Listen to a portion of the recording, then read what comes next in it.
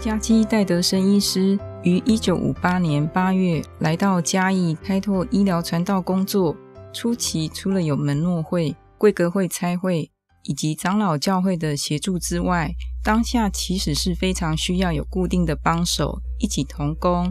感谢上帝的引导以及众人的祷告，在一九五九年二月，一位热心爱主的林庆和先生，成为戴德生开展嘉义医疗工作最早的同事，并且负责医疗检验工作。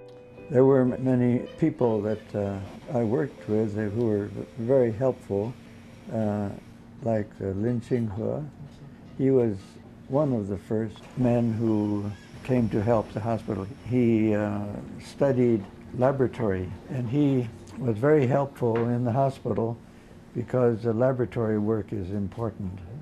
林清和先生衷心为家基服务，日后更承担起医疗副院长的责任。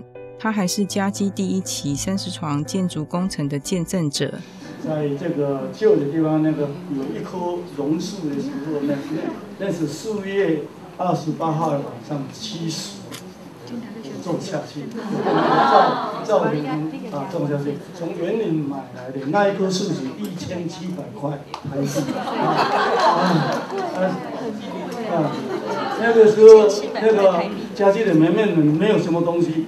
啊，去找一棵树来，但这个这棵树必须需要这个常青树啊，像那个家具是常青，永永远远在主耶稣带领之下，这个家基呢是所有在这里工作过每一个人的家基，为这个家基来努力。那么将来我们会以家基为荣，家基为重。